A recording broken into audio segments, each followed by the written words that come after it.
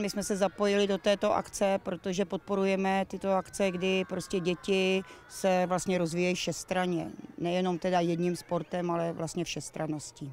Samozřejmě má to i, i takový trošičku podtext toho, že chceme nalákat eh, šikovní děti, eh, děvčata k nám do Sparty nebo do místních eh, klubů, to znamená Satelit, Vinoře a Bel. Je to první akce, ve, ve Spartě jsme pořádali několik akcí náborových, neměli jsme nikdy takovou velkou účast, samozřejmě tohle je všestrannosti a myslím si, že dětem se to líbí a že to působí velice dobře. Na tuto akci jsem si pozvala juniorky Sparty, kteří chodí na spartianskou školu ANOA.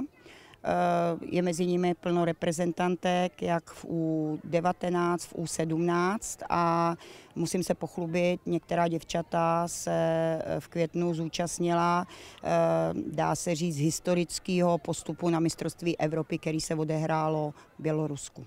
Já myslím, že to byl super pokrok, že jsme se vůbec dostali na euro. Hodně jsme si to tam užili s holkama, strašně nás to bavilo a užili jsme si ten fotbal. Mě tačka přivedl k fotbalu, začalo mě to bavit a od 12 let jsem se dostala do Sparty. Byl to můj vysněný klub, tak jsem si to splnila ten sen. Bylo to úplně jinačí.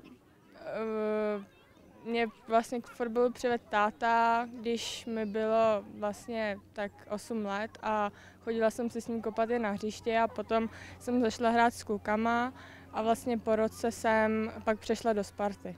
Myslím si, že to je dobrá akce, že děti si to tady užívají a že je to baví.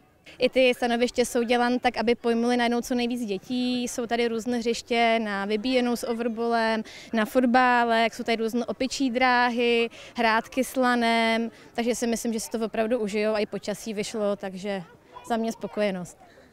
Líbily se mi všechny disciplíny, které tady byly.